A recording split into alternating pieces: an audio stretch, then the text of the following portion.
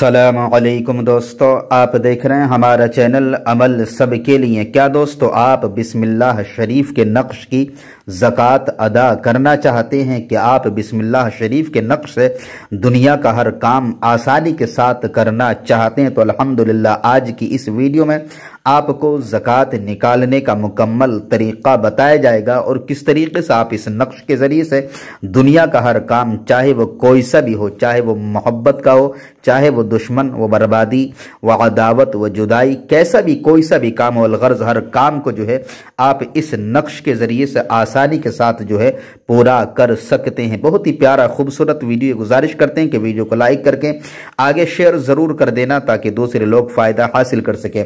بسم اللہ۔ اللہ الرحمن الرحیم یہ وہ پاورفل مقدس اللہ کا کلام ہے کہ جس کے ذریعے سے انسان جب پڑھتا ہے اور پڑھنے کے بعد جس کام کی بھی شروعات کرتا ہے، رب تبارک و تعالی اس کے کام میں جو ہے برکتیں عطا فرماتا ہے اور اس کو ناکامیابی کا سامنا نہیں کرنا پڑتا۔ اسی بسم اللہ الرحمن الرحیم کا الحمدللہ، آج ہم آپ کو نقش بتا رہے ہیں، اس کی زکوٰۃ کا بھی پورا طریقہ بتا رہے ہیں۔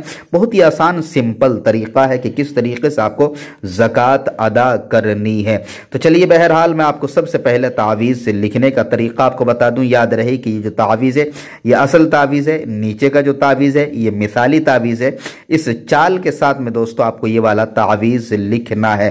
پہلے لکھنے کا طریقہ بتاتا ہوں، بعد میں پھر زکوٰۃ کا طریقہ بتاؤں گا۔ کس طریقے سے آپ کو زکوٰۃ ادا کرنی ہے؟ تو دوستو، آپ کو اس طریقے سے کھانے بنا لینے ہیں۔ سب سے پہلے یہاں پر آپ کو جو ہے سات سو چھیاسی لکھ دینا ہے۔ ایک کی جگہ آپ کو دو سو اٹھاون، پھر اس کے بعد میں دو کی جگہ، دو سو انسٹھ، پھر اس کے بعد میں یہاں پر آپ کو تین کی جگہ جگہ دو سو ساٹھ، پھر یہاں پر آپ کو چار کی جگہ دو سو اکسٹھ، پھر اس کے بعد میں آپ کو پانچ کی جگہ دو سو باسٹھ، چھ کی جگہ دوستو آپ کو جو ہے دو سو تریسٹھ، پھر یہاں پر سات کی جگہ دو سو چونسٹھ، پھر یہاں پر دوستو آپ کو آٹھ کی جگہ دو سو پینسٹھ، پھر اس کے بعد میں جو ہے نو کی جگہ آپ کو دو سو چھیاسٹھ لکھ دینا ہے، پھر یہاں پر آپ کو جو ہے الہی بحرمت کاف ہا یا عین سواد میم، عین، سین، قاف۔ بس اس طریقے سے آپ کو یہ نقش جو ہے پر کر لینا یاد رہے کہ یہ کچھ بھی نہیں ہے، مثالی نقش ہے۔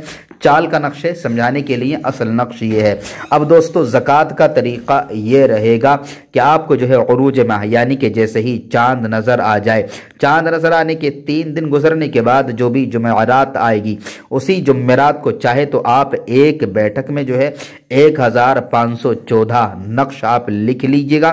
آپ کی زکوٰۃ ادا ہو جائے گی۔ لکھ کر کے ان تعویذوں کو جو ہے آٹے کی گولی کے اندر پیک کرنا ہے۔ کسی بھی دریا، ندی، جہاں مچھلی وغیرہ پلتی ہوں یا پالی جاتی ہوں یا قدرتی پلتی ہوں، تو وہاں پر جا کر کے جو ہے ایک ہزار پانچ سو چودہ نقش کو جو ہے آٹی کی گولی کے اندر پیک کر کے جو ہے ڈال آئیے گا، آپ کی زکوٰۃ ادا ہو جائے گی۔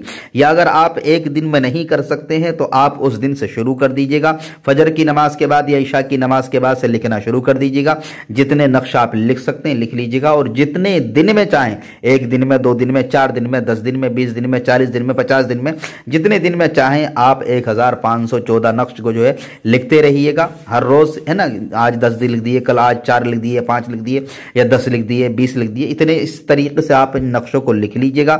ایک ہزار پانچ سو چودہ نقش کی تعداد آپ مکمل کر لیجیے گا۔ مکمل کرنے کے بعد آٹے کی گولی بنا لیجیے گا، بنا کر کے جو ہے آپ کو دریا کے اندر جو ہے ڈال کر کے آ جانا ہے آپ کی نقش جو ہے ایک اس کی جو ہے زکوٰۃ ادا ہو جائے گی۔